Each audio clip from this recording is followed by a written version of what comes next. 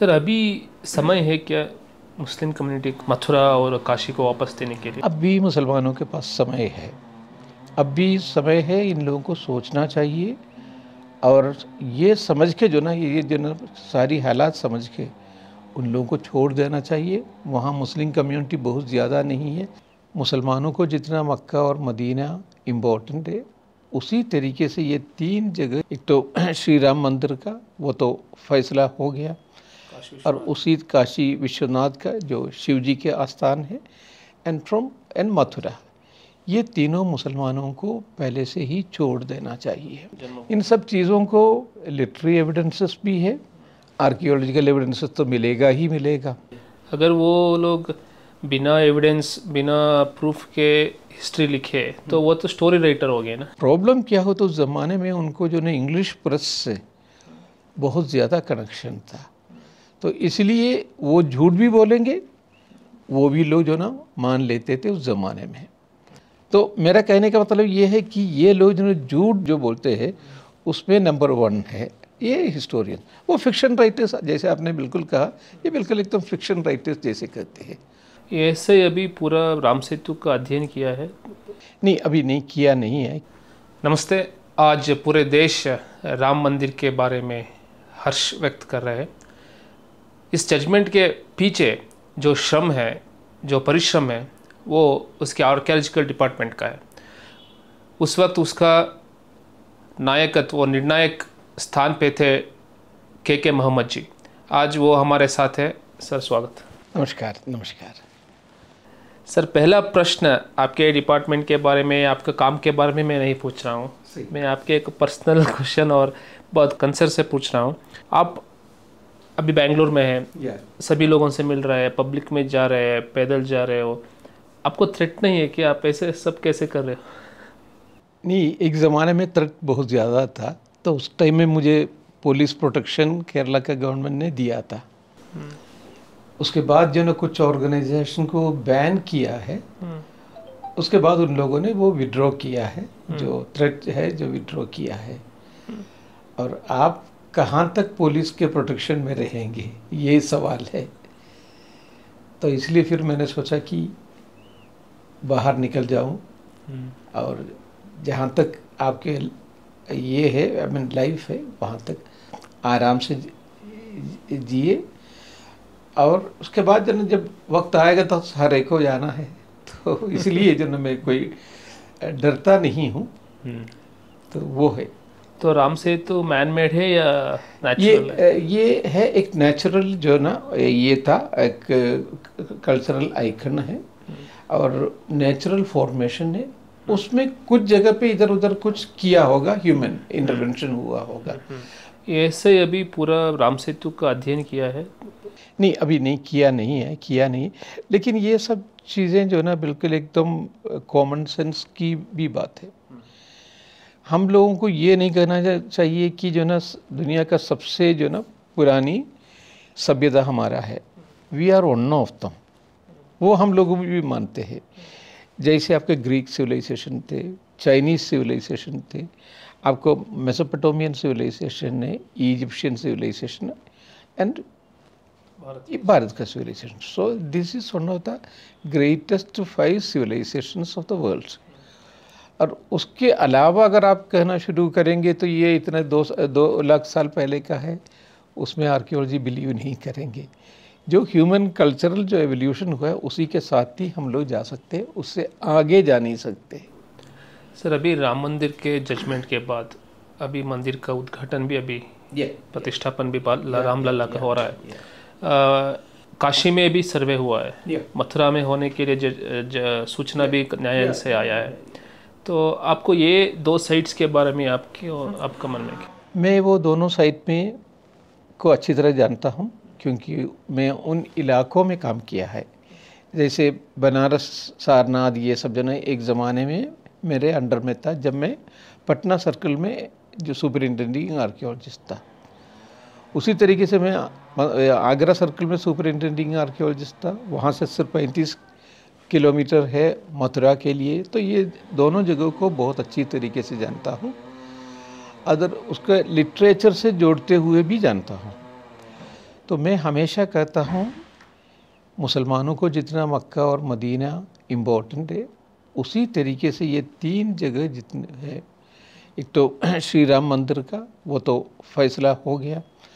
और उसी काशी विश्वनाथ का जो शिव जी के आस्थान है। And from and Mathura. ये तीनों मुसलमानों को पहले से ही छोड़ देना चाहिए।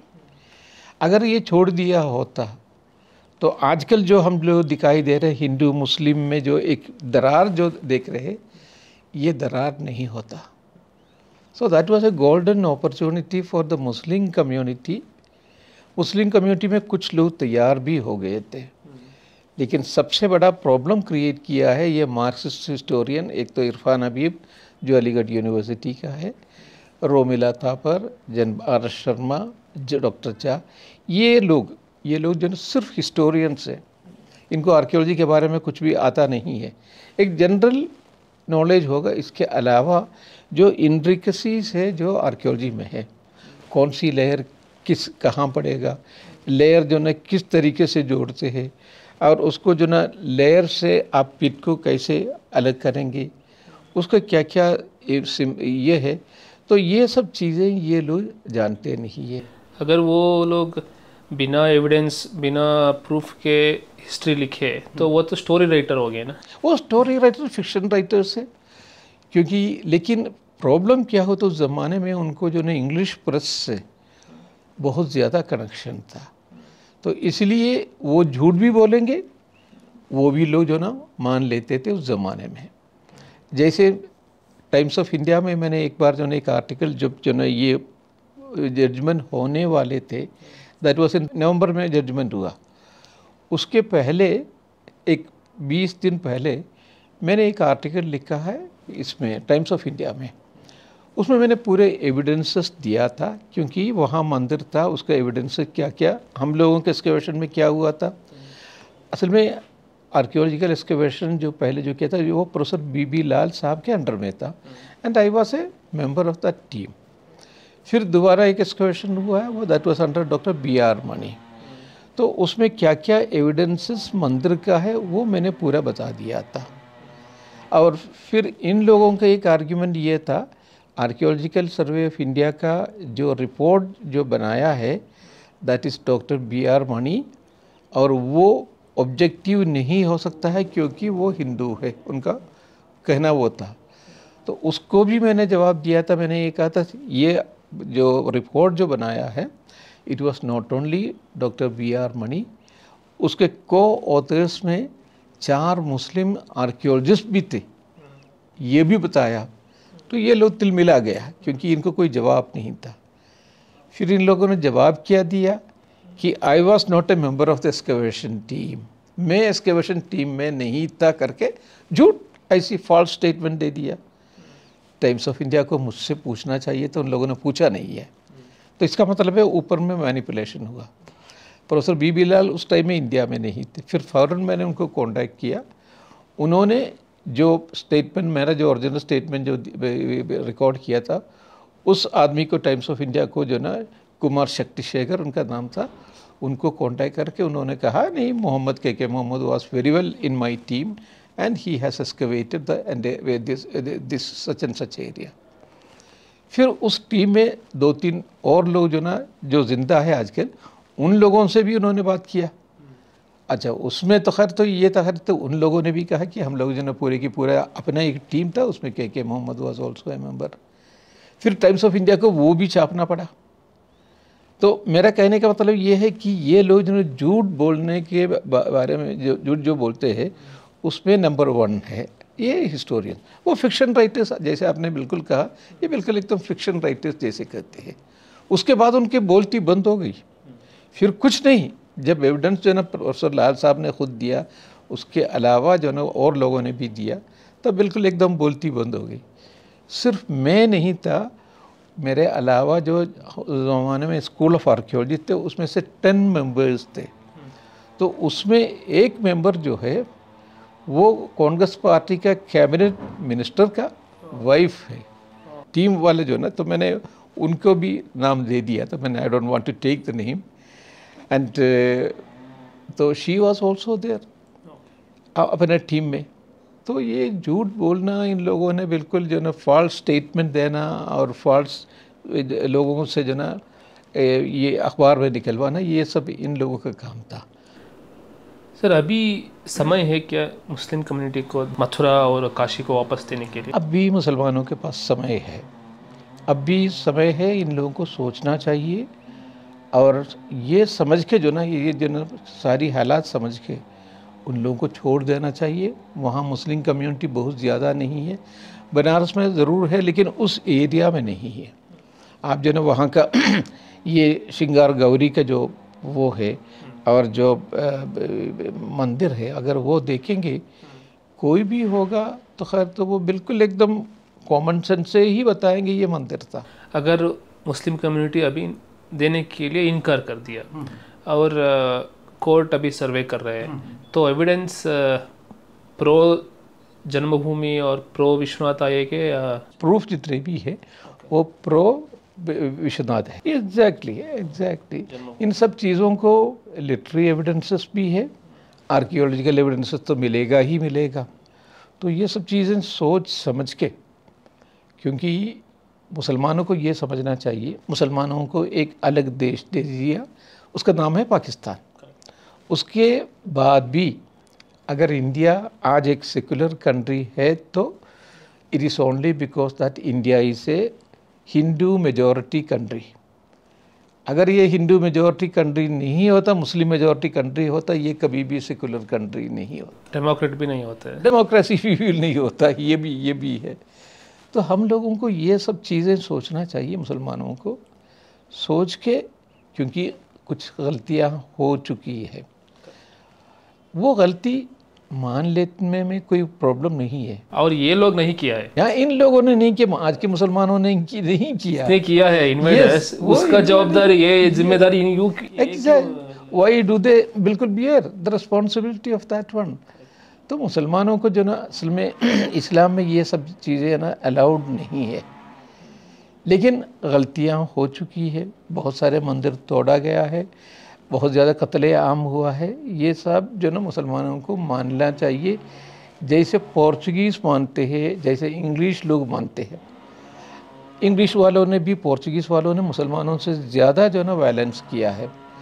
मैं seven years I was in Goa Goan churches में ही रहते थे। वो पोर्चुगीज़ लोगों के जो ना, ये ये जो ना लोग अब भी वहीं है, कई लोग हैं।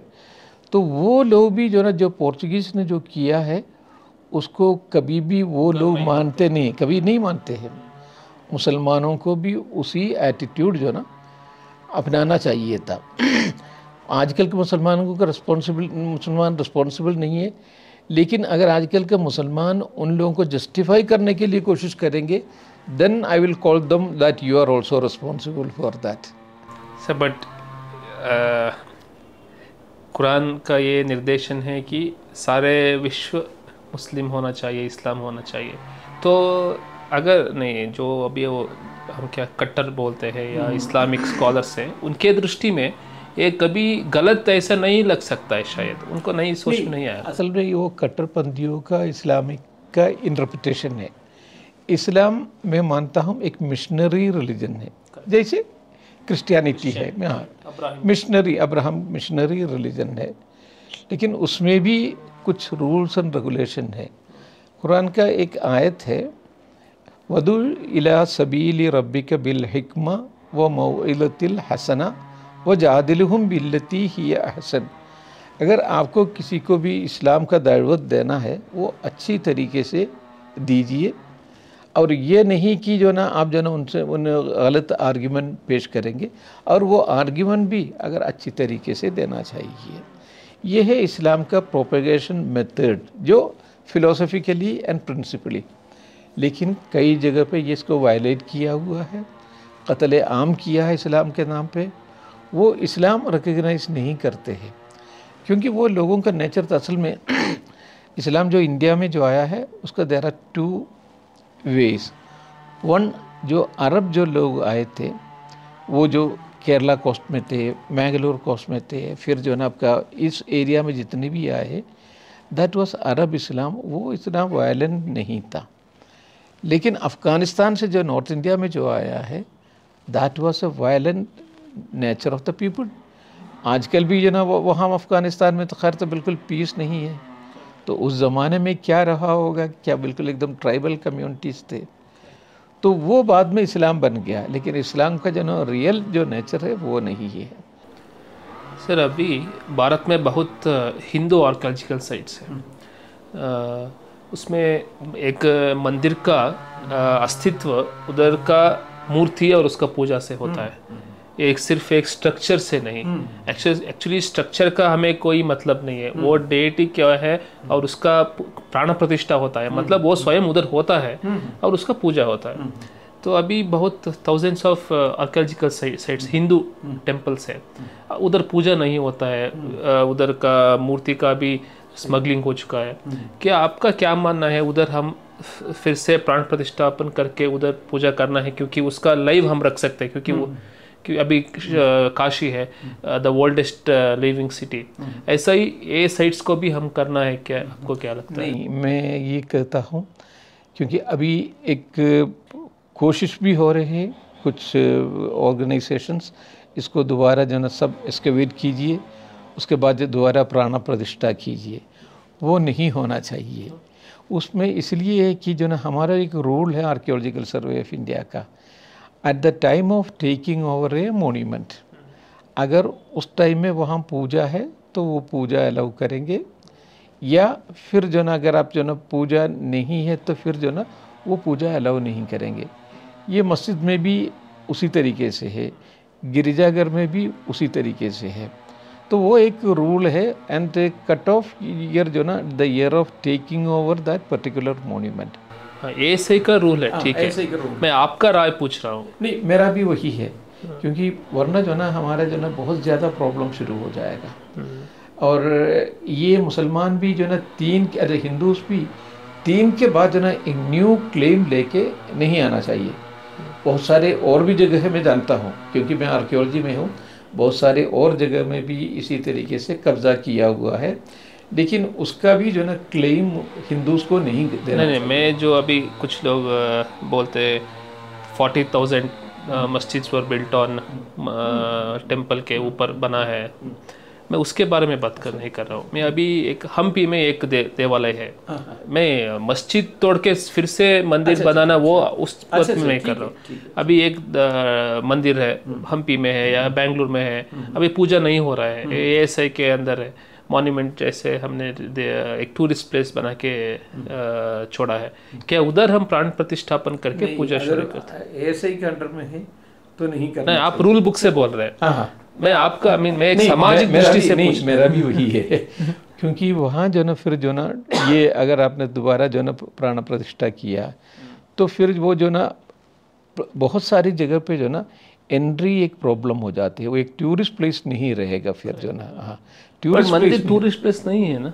कौन सी? नहीं अगर जो ना अगर आर्कियोलॉजिकल सर्वे ऑफ़ इंडिया का अंडर में है तो फिर हमको जो ना उस रूल को फॉलो करना पड़ेगा। नहीं इसलिए मैं पूछ रहा हूँ मैं रूल से बात नहीं कर रहा हूँ। मैं सामाजिक दृष्टि से बात कर सामाजिक दृष्टि से भी दोबारा करना नहीं चाहिए। हम लोगों के पास जो ना काफ़ी मंदिर है बहुत सारे मंदिर हमारे पास है। अब जो ना बहुत ज़्यादा जो ना एक अगर आप जाएँगे तो अगर इतना ज़्यादा मंदिर हो गया तो वो एक प्रॉब्लम बन जाएगा बाद में भी। तो ठीक है जहाँ तक ज़रूरत है वो पर नया मंदिर तो हर दिन बन रहा है। हाँ नहीं उसको भी मेरे ख्याल में नया मंदिर नया मस्जिद या- नया चर्चस इन सब चीज़ों में एक रोक होना चाहिए बहुत ज़्यादा नहीं होना चाहिए and then that will be a problem at a later time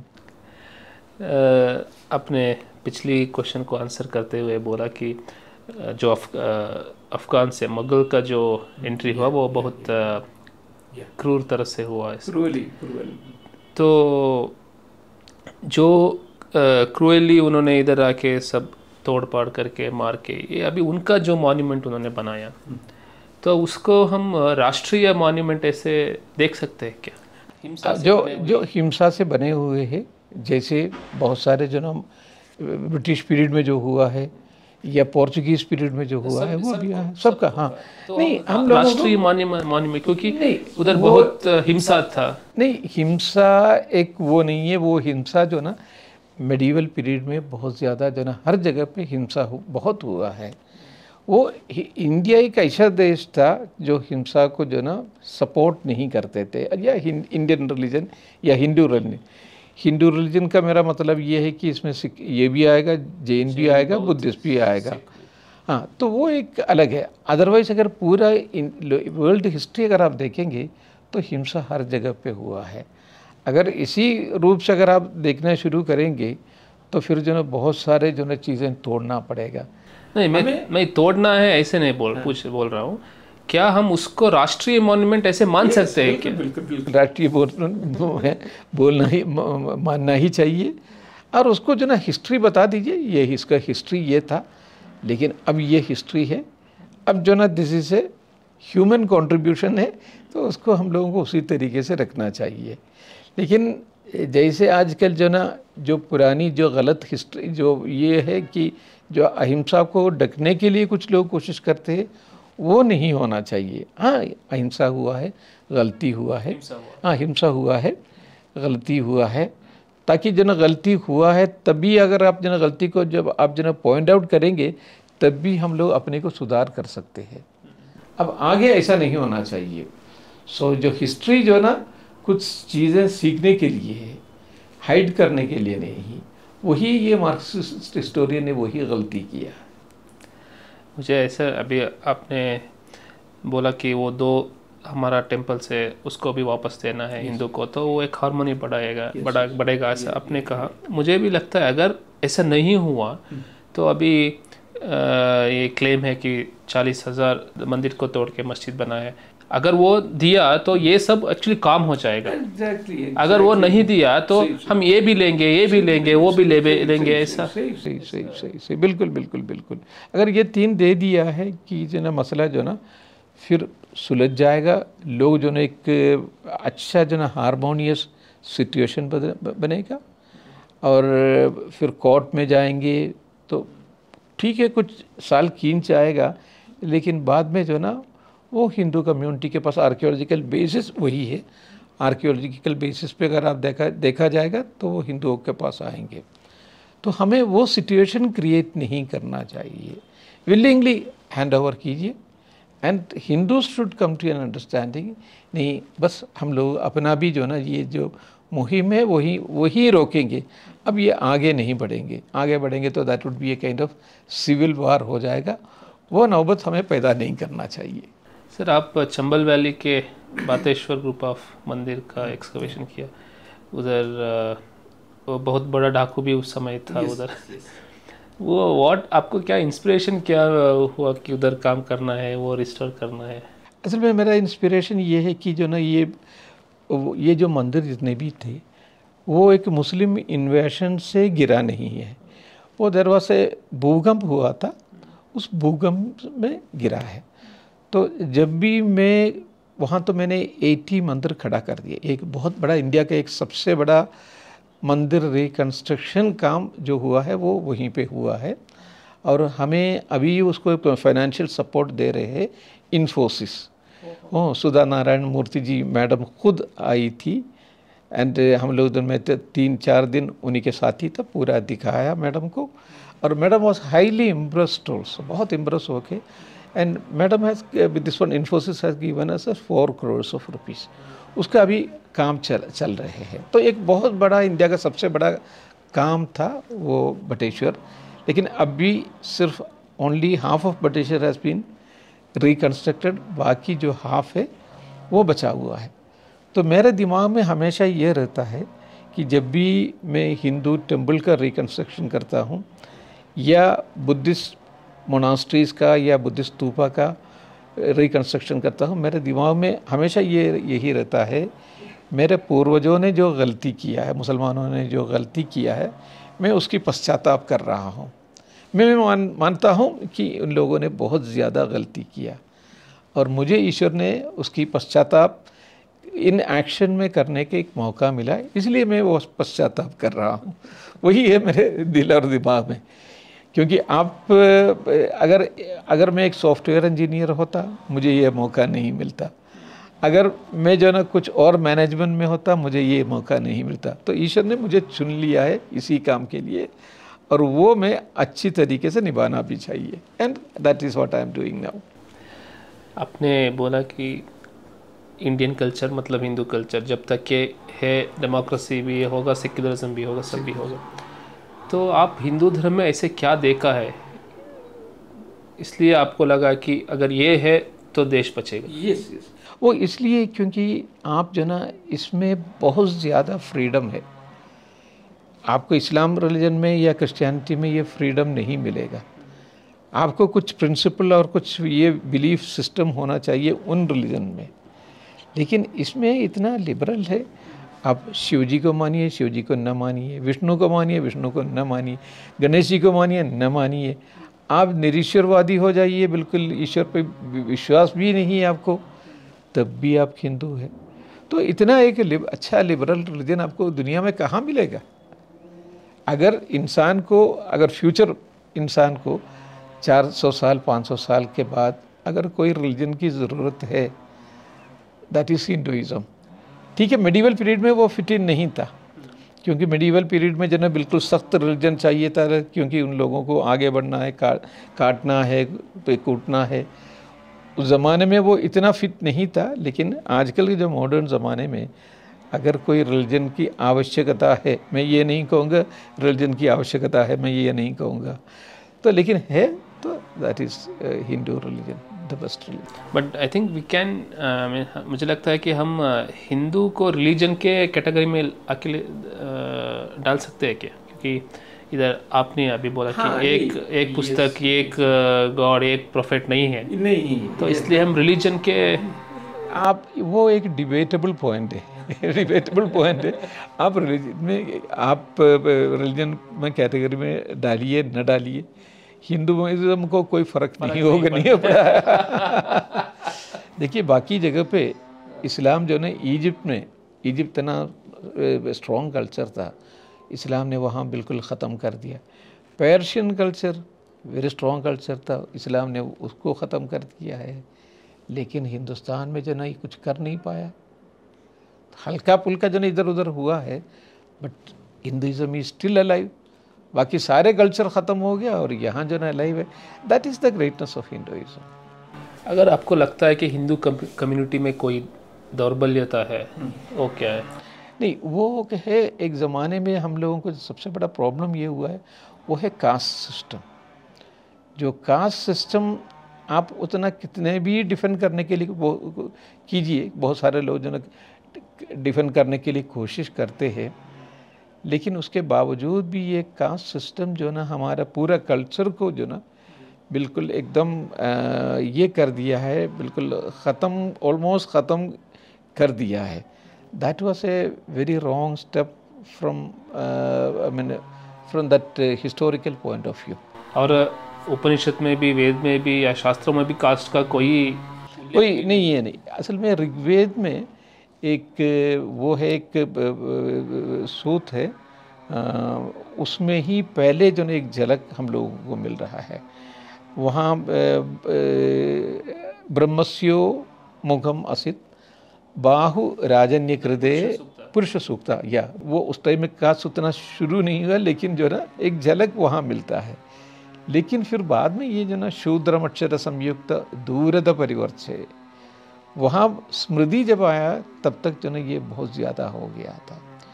तो वो बाद में भी प्रैक्टिकली हम जितने भी डिफेंड करने के लिए कोशिश कीजिए लेकिन हुआ है गलतियाँ हुआ है। वरना इतना छोटा सा आर्मी आया मोहम्मद गजनी मोहम्मद गौरी तो उसमें शूद्र को जो ना फाइट करने का अधिकार भी नहीं था। वैश्य और ब्राह्मण को भी नहीं। वैश्य और ब्राह्मण को भी नहीं सही वैश्य और ब्राह्मण को भी नहीं। तो इसलिए जो ना हाँ हर खा लिया हम लोगों ने। तो ये सब चीज़ें हैं। आजकल भी जो ना हम लोग कितने भी इसको डिफेंड कीजिए कुछ जगह पे अब भी है भी है अब भी है। So that is we have to admit our own एक जगह पे हम लोग जो ना कह सहना बाबतु सहनो बुनकतु सब ये सब कहेंगे। लेकिन कुछ गलतियाँ हमारे साइड से भी था। मानिए उसको। हाँ वो है वो देर इज़ नो डाउट अगर हमने ऐसे नहीं है तो बोल देता हम अप्रामाणिक हो जाएँगे। यस बिल्कुल बिल्कुल बिल्कुल प्रामाणिक हो जाएगी सही है। और ये जब हम हिंदू धर्म की बात करते हैं तो इधर आर्य द्राविड़ा ऐसा दो नरेटिव लेके वो भी मार्क्सिस्ट हिस्टोरियंस के और उसके पीछे के तो वो मार्क्सिस्ट हिस्टोरियन का नहीं था। ब्रिटिश ब्रिटिश लोगों का था लेकिन जो ब्रिटिश लोगों को जो ना हम लोग जो ना कहते हैं, वो उन लोगों ने डिवाइड करने के लिए था, ये सब नहीं है। वो उस ज़माने में जो इसमें उस ज़माने में जो स्टडी किया है लैंग्वेजेस का तो लैंग्वेजेस का जो स्टडी में बहुत ज़्यादा जो ना, जो इंग्लिश में और लैटिन में ग्रीक में जो वर्ड्स है, वो कई सारे वर्ड्स जो ना संस्कृत में भी है। जैसे ब्रदर ब्रदर जो इंग्लिश है वो ब्रोटर इसमें जर्मनिक में होता है और ब्रातर हमारा संस्कृत में है। उसी तरीके से फादर हाँ पीटर, पैटर तो उसी में उन लोगों ने स्टडी किया था। उनका स्टडी बिल्कुल डायरेक्टली सही था। तो उसी में उन लोगों ने ये कहा था फाइलोलॉजिकली बिल्कुल ये ऐसा लग रहा है। तो there have been a migration from that place to this तो लिथुनिया करके एक जगह है इन जर्मनी में। सॉरी जर्मनी में नहीं है रशिया में। तो वहीं से फिर जो लोग जो कई जगह पे डिफरेंट माइग्रेट किया। तो उस टाइम में उनका कोई इंटेंशन ख़राब नहीं था but that was the understanding लेकिन आजकल हमको जो ना न्यू एविडेंसेस डीएनए के ऊपर मिल रहा है। तो हमें जो कुछ है, लेकिन मैं हमेशा ये ना, ये जो राइटिस्ट हिस्टोरियंस उसमें हमेशा मैं ये कहता हूँ, आप उनको कंडम मत कीजिए। उनका इंटेंशन ऐसा नहीं था। जो अलेक्जेंडर कंडिंगम ने इंडियन कल्चर के लिए किया है। वो किसी और ने नहीं किया है। उसी तरीके से बहुत सारे लोग हैं। तो उन लोगों ने तो अपना एक पूरा लाइफ टाइम जो ना इंडियन कल्चर को अंडरस्टैंड करने के लिए उन लोगों ने स्पेंड किया है। और उसी तरीके से, बहुत अच्छी तरीके से उपनिषद का सबसे अच्छा स्टडीज़ पहले दारा शुकू ने किया था, वो दारा शुकू ने उपनिषद का ट्रांसलेशन पर्शियन में किया था। वो पर्शियन जो है ना फिर इनके पास चले गया ये अकिटल डपरान करके एक वहाँ फ्रेंच स्कॉलर था। उन्होंने लैटिन में किया वो लैटिन ट्रांसलेशन जो जर्मन के जितने भी फिलोसफर्स थे यस ये ख़ासतौर शुआइट्सर है शॉपन हैर है इन लोगों को इन्फ्लुएंस किया है। तो वो सब जो ना इंडियन इंडियंस ऑलमोस्ट इंडियन बन गया। तो वो सब जो ना जो अंडरस्टैंडिंग है वो इसी के थ्रू गया है। तो उन लोगों का गलती नहीं है। हाँ कुछ अंडरस्टैंडिंग पर अभी जो उसका एडवोकेट कर रहे हैं तो वो तो डिवाइड करने के लिए। हाँ अभी का जो आप कह सकते हैं लेकिन मूल वालों को जो ना आप जो ना इसमें जिम्मेदार नहीं बनाना चाहिए।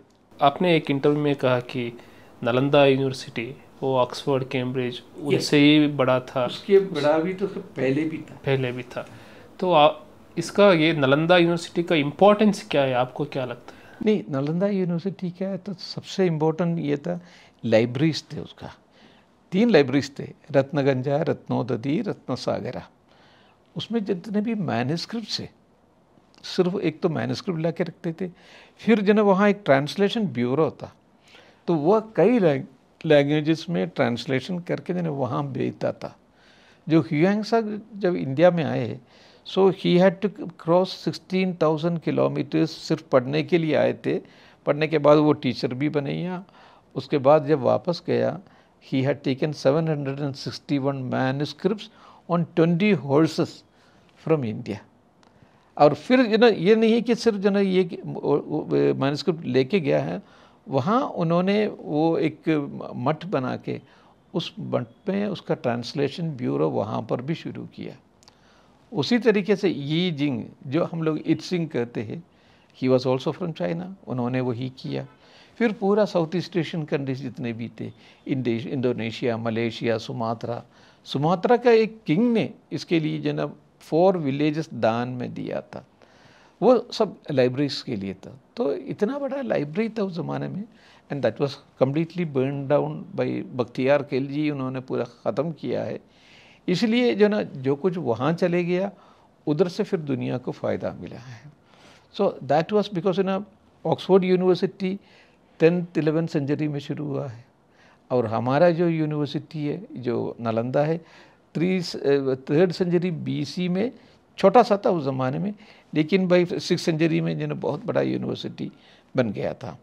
तो उसके बाद जो ना ऑक्सफोर्ड के बाद जो ना, उसके पहले एक और एक और यूनिवर्सिटी था इटली में I am just forgetting the name तो कैम्ब्रिज बाद में आया कैम्ब्रिज थर्टीन सेंचुरी में आया। तो तब तक हमारे लिए जो ना सिक्स हंड्रेड ईयर्स पुराना हो गया था हमारा नालंदा। लेकिन by that time it was burn down also तो इतना बड़ा एक यूनिवर्सिटी था और पूरा साइंस जो है ना वहीं से बाहर गया। अच्छा उन लोगों को एक और एडवांटेज मिल गया चाइना में जो चले गया उन लोगों ने ये प्रिंटिंग शुरू कर दिया था। प्रिंटिंग से जो ना बहुत फ़ायदा हुआ। पहले मैनस्क्रिप्ट में आप एक एक किताब लिखेंगे लेकिन प्रिंटिंग से जो ना बहुत सारे जो ना ये पूरे की पूरा ट्रांसफ़र ये जो ना ट्रांसफ़र नॉलेज ट्रांसफ़र हुआ। ये बख्तियार किल जी ने जो आग लगाए यूनिवर्सिटी के लाइब्रेरी को कारण क्या था उसका? नहीं कारण जो लोग अक्सर जो ना आजकल यूट्यूब आते हैं तो उसमें तो बहुत कुछ कहते हैं कि वो इनका एक बीमारी था। और बीमारी जो ना ठीक करने के लिए कोई नहीं आया तो लोगों ने कहा, जो ना एक नालंदा में एक आचार्य है तो वो जो ना आपको ठीक करेंगे। तो उन्होंने कहा कि, जो ना मैं आपकी कोई दवा तो नहीं लूँगा। तो उन्होंने कहा, दवा मत लीजिए। तो आप जो ना बिल्कुल तो उन्होंने क्या किया तो आचार्य जी ने जो किताब था तो किताब में कुछ लेप लगा दिया। तो आप इसका पन्ना जी बिल्कुल आप चेंज कर दीजिए। तो पन्ना जब चेंज कर रहे तो उन्होंने ये सूंघने लगा, उनको पता नहीं था बीमारी ठीक हो गया। वो सब जो ना काल्पनिक है, वो उससे कोई मतलब नहीं है। उनको ये था कि जो ना उसमें ये जो ना उस ज़माने में जैसे मैंने कहा, अफ़गान से। अफ़गान का कोई लाइब्रेरी का कोई कंसेप्ट ये सब नहीं थे। तो वो पूरे की पूरा वहीं से आ रहे थे। अगर ये बगदाद से आया होता, जो असली जो मुस्लिम्स थे, अगर बगदाद से आया होता, Baghdad was a centre of culture Baghdad was वहाँ तो ना खुद जो ना लाइब्रेरी लाइब्रेरी थे। बैतुल हिकमा करके जो ना एक विजडम सेंटर था वहाँ। अगर वहाँ से मुस्लिम आया होता इतना बड़ा नुकसान नहीं होते। This were simply tribal people who had no concept of libraries and other thing तो इसीलिए जो ना बिल्कुल ये जला दिया गया। Sir you being Muslim from birth I see you as a Bharatiya but yes. from a birth i'm just saying. Yeah yeah, yeah. First of all I am a Bharatiya then anything Muslim community और Christian community Ram को yeah. कैसे देखते हैं कैसे देखते हैं I mean all of them know that he is a maryada purush that they admit even Marija had set Ram के बारे में जो मारीज जो थे उन्होंने भी कहा था कि ये मर्यादा पुरुष है तो सारे लोग जो ना, वो इसमें कोई वो प्रॉब्लम नहीं है। क्योंकि इकबाल ने खुद कहा था, जो, इकबाल जो क्रिएटर ऑफ़ पाकिस्तान, जो असली क्रिएटर ऑफ़ पाकिस्तान है, उन्होंने खुद कहा था, जो हम, राम के वजूद पे हमें हिंदुस्तान को नाज है करके। है राम के वजूद पे हिंदुस्तान को नाज, अहले नज़र समझते हैं, उनको इमाम हिंद। उनको हम इमाम हिंद मानते हैं। तो ये है लेकिन इस इश्यू में आके मुसलमानों ने एक गलत, ये जो ना टर्न ले लिया। अननेसरली बिकॉज़ यू नो वहाँ तो मुस्लिम्स बहुत ही कम था। यार, आराम से वो लोग दे सकते थे। हिस्टोरिकल एविडेंसेस बहुत ज़्यादा है। लेकिन वो मौका उन लोगों ने यूज़ नहीं किया, खो दिया है, जो एक स्ट्रैटेजिकली बहुत बड़ा मिस्टेक हुआ है, जो होना नहीं चाहिए था। सर, आपने समूह के साथ बहुत वक्त बिताया। और आपका इस इंटरव्यू से बहुत इन्फॉर्मेशन भी मिला है और कुछ सूचना भी मिला है समाज के लिए। आपके समय के लिए बहुत बहुत धन्यवाद। Thank you so much